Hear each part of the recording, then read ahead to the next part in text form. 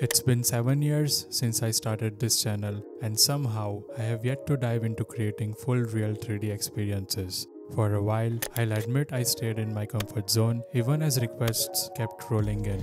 But last weekend, I came across this site of the Day on Awwwards that showcased some incredibly smooth 3D animations. This got me inspired and after a few hours of playing around with the basics of Three.js, I pulled together a close replica with all the key animations. In this video, I'm going to show you how to bring a custom 3D model onto an HTML page, animate it with a floating effect, add a smooth rotation on scroll, and even scale it out at a scroll point. I'll be using HTML, CSS, Three.js, GSAP, and ScrollTrigger to make it all happen.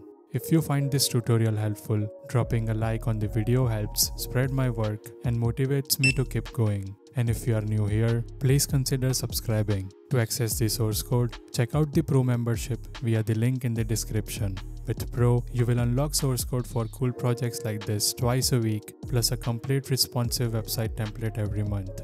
Alright, let's dive right in. Before jumping in, let me quickly share where I found the 3D model used in this video. Since I don't have experience creating 3D models in Blender or similar tools, I turned to Sketchfab, which is a popular site with tons of free 3D models. I'll link the exact model I'm using in the description below. The project setup is simple. We have got an index.html file, a CSS file, and a JavaScript file to handle everything. For assets, I created a folder named assets where I have added a barcode image, the 3D model in GLB format, and a sound effect for the scanning animation will play as the model rotates and scales out to enhance the scan effect. Also, make sure to add all the required CDNs to your index.html file. Alright, let's dive into the HTML setup. Let's start by adding an empty div with the class model. This is where we'll render our 3D scene. Next, we'll set up four main sections, the hero section, info section, scanner section, and outro. Inside the hero section, I will add an h1 and h2 along with some placeholder text in a paragraph tag. These elements are optional, but they'll make the page look more complete and closer to the original website. In the info section, we'll start by adding some tags, each as a separate paragraph element. Then we'll add an H2 with additional placeholder text. Moving down to the scanner section, I'll create a row called scan info and add some basic text there.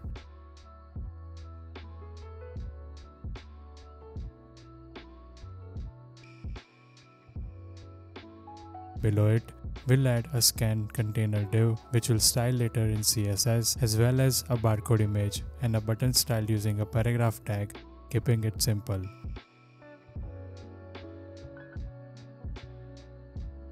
Finally, in the outro section, we just need an H2 to wrap things up. And that's it for the HTML setup. Now let's move on to styling. Let's start with some global styling. I'll reset margins and paddings, set box sizing to border box for consistent sizing, and apply clean font with all text transformed to uppercase. For the HTML and body, we'll set the width to 100 viewport width and height to 500 viewport height. I'm adding an extra 100 viewport height here compared to the 4 sections as we'll be pinning the scanner section to extend its scroll for a bit longer. Images will be set to cover the full width and height of their containers using object fit set to cover.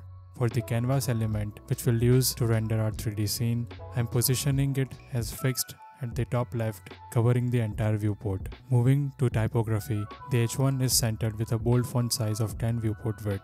H2 has a slightly smaller font size of 2.5 viewport width with a medium weight, while paragraph text is set to 12 pixels with a consistent line height. Now for the model div, we are setting it to fixed position, covering the full viewport height and width and giving it a soft background color. Sections are set to be full width and height and center the inner content both vertically and horizontally with a flexible column layout and a small gap for spacing.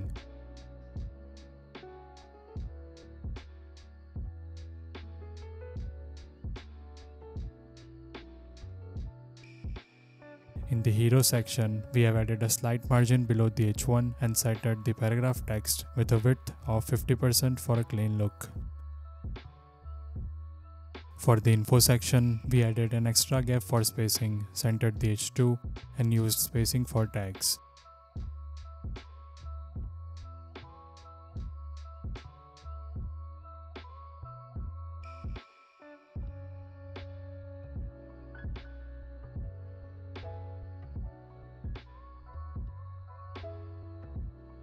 Now in the scanner section, the scan info row is positioned at the top with a full width layout and padding.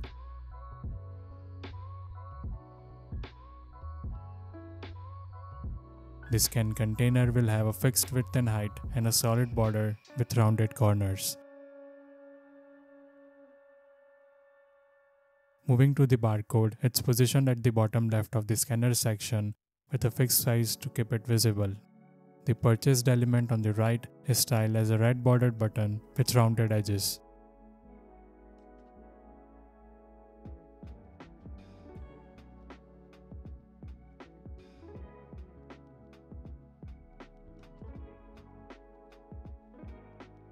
Finally, in the outro section, we are centering the H2 and setting a width of 70% for a balanced layout.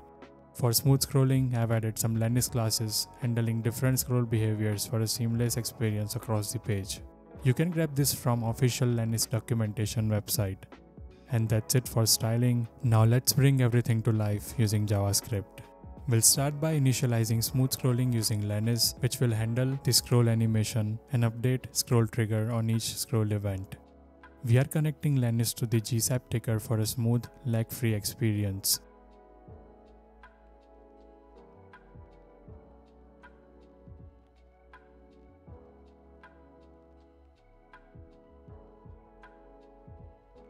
Let's start by setting up the scene, which will be the base for everything we add in Three.js. First, we create a scene object with a light background color to keep things clean and make our 3D model stand out. Next, we add a camera, which is how we'll view the 3D scene.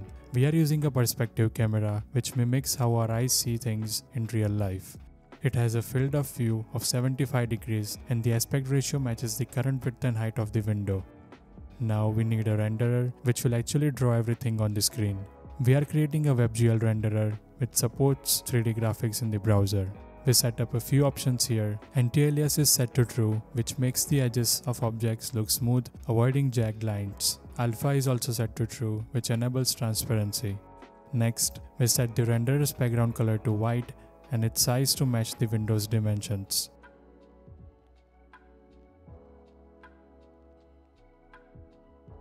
We also set the pixel ratio which helps the scene look sharp on high resolution screens like those on mobile devices.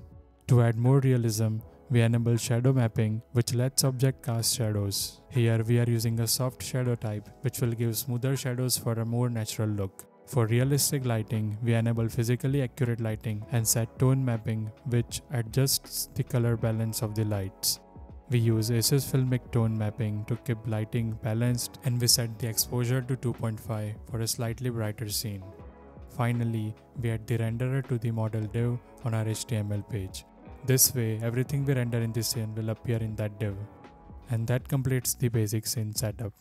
Next, I am pasting in some lighting settings. You can ignore this part or maybe adjust these based on the model you are using. I had to use a bit of help from ChatGPT here as my model appeared a bit too dark initially, so it helped me tweak the lights until it looked right. Feel free to modify these if needed. Now I am adding a simple animation function called basic animate. This function renders the scene with the camera view and then it keeps refreshing using request animation frame function giving us a continuous render. For now, it's just a basic setup to get our model visible on the screen. This function will be replaced with the full animation loop once everything is set up. Next, we load the 3D model using GLTF loader, which is perfect for handling GLB or GLTF files. Here, first we set up the load function to find our model file. Once the model loads, we assign it to a variable called model and traverse through each part of it. This lets us adjust details of the model's materials. We set metalness and roughness to give the model a subtle metallic and matte look.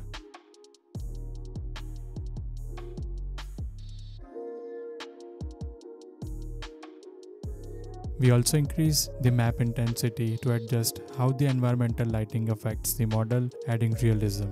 Additionally, we enable cast shadow and receive shadow on each mesh so the model can both cast and receive shadows in the scene. Next, we ensure the model is centered by calculating its bounding box and getting its center point. We adjust its position so that it's perfectly centered in the scene, making it look balanced from all angles. Then we add the model to the scene. To properly frame the model, we calculate its largest dimension and set the camera Z position based on this, ensuring the model fits perfectly within the view. Finally, we set the model's initial scale to 0. This allows us to play a smooth entry animation when the model appears. We also stop our basic animate function and start the main animation loop, so our scene is now ready for interactive animations.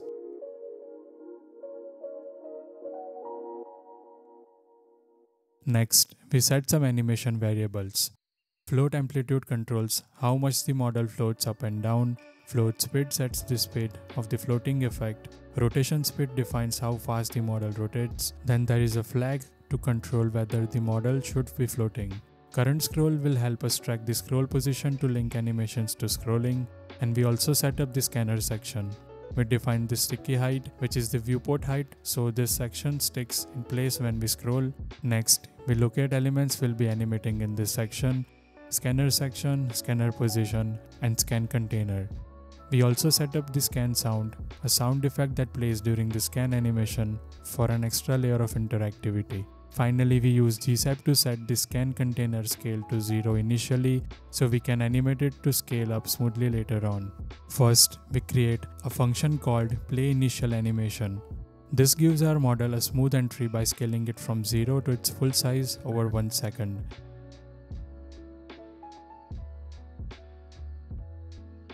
We also scale up the scan container from 0 to its full size at the same time, making both elements appear smoothly on screen. Next, we set up two scroll triggers to control animations as we scroll. The first one starts at the top of the page and runs until we scroll back up to the top.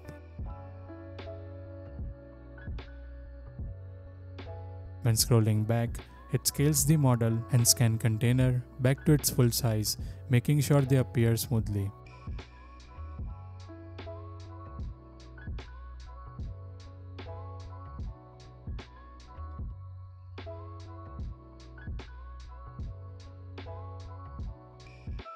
This next one is applied to the scanner section.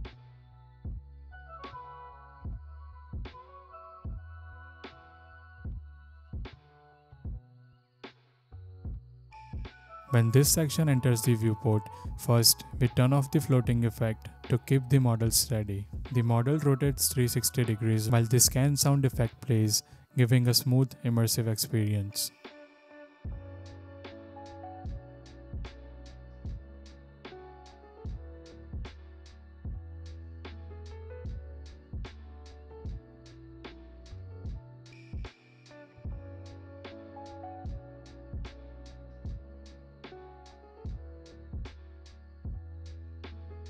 Once the rotation completes, we scale down the model and scan container, making them disappear as if they were scanned away.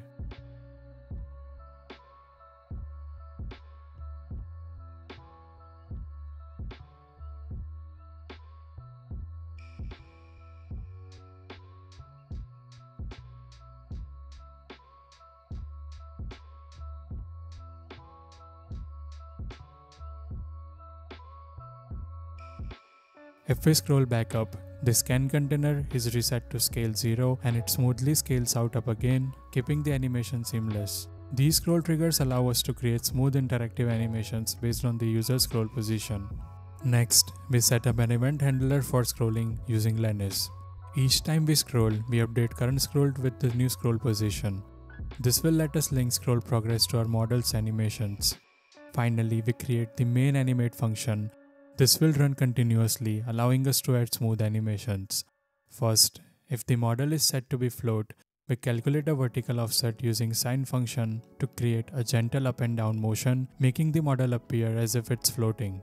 Then we calculate scroll progress, which gives us the scroll position relative to the scanner section. This controls the model's rotation. For the X rotation, we rotate it fully around based on the scroll progress.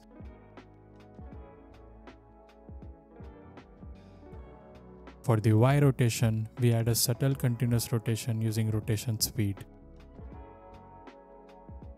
Finally, we render the scene with the updated camera and model positions. This animate function will keep refreshing, creating smooth, real-time animations as we scroll. And that's it. Hope you found the video helpful. See you in the next one.